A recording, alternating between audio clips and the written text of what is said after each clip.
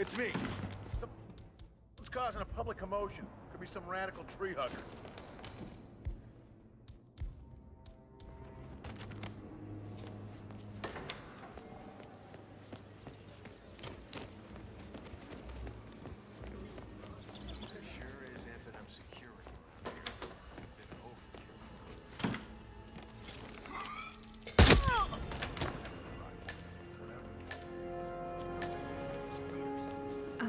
Huh?